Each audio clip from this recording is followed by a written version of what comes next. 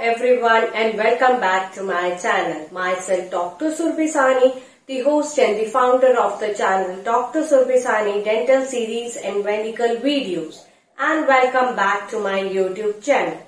As you already know that in the previous days already oral surgery videos are out on my channel so you can check out in the playlist of oral surgery on my channel.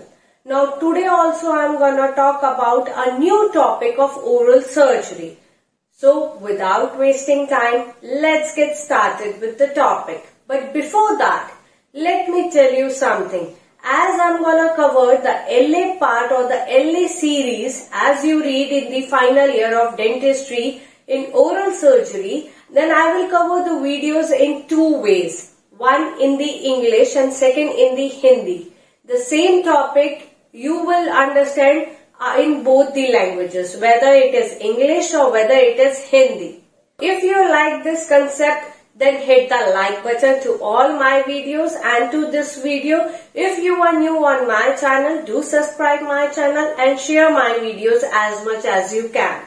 Now today's topic is the electrophysiology of nerve conduction. Topic is very very important in oral surgery as well as you read this topic in physiology also. If we talk about the electrophysiology of nerve conduction, then it is in certain step. The first, we need the stimulus which can excite the nerve. This is the nerve and this is the stimulus which we need so that there is some changes in this nerve.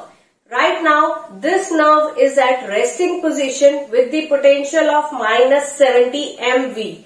MV is the millivolt, right? So, at present, this nerve is at resting position with the 70 millivolt minus 70 millivolt potential. Now, whenever a stimulus comes, it will excite the nerve, the change in the potential of the nerve. The first step is there is the slow depolarization of the nerve. As the resting potential was minus 70 MV, now it gets changes to minus 50 or minus 60 MV. When this step occur, this is known as the slow depolarization of the nerve. Second step is whenever there is the drastic falling in the rapid depolarization at a critical level, then that is known as the threshold potential or firing potential. Let's say it uh, reaches up to minus 50 MV or the minus 60 MV. Third step is the rapid depolarization of the nerve. In this there is the total reversible of the electrical potential of the nerve. Now inside the nerve or the interior of the nerve, in case of the rapid depolarization, we have the positive electrical potential inside the nerve as compared to the outside of the nerve. Now it reaches up to the plus 40 MV. Earlier it was 70 minus 70 MV. Now it has positive 40 MV. So that's all about the rapid depolarization. After all the depolarization, here comes the fourth step that is repolarization of the nerve.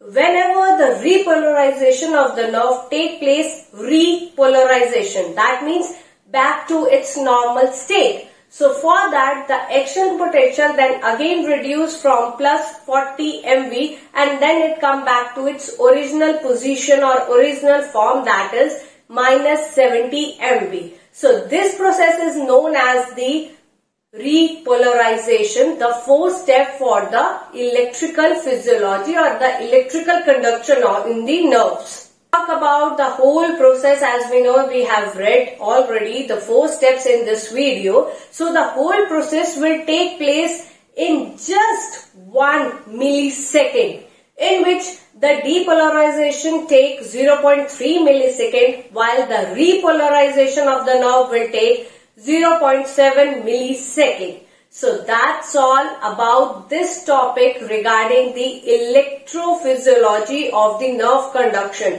A very very important topic to understand. This will help to clear your basics whether in oral surgery in case of LA or in case of physiology which you read in first year of dentistry.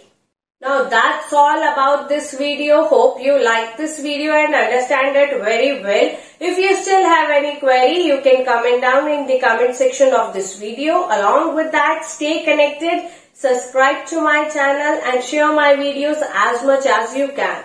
If you still have any query, you can drop me the mail which is shown on your screen or you can also follow me on my Instagram with my Instagram ID shown on your screen. I will definitely put the link of my Instagram ID in the description box. So don't forget to check out that. Stay connected, stay healthy. Thank you for watching.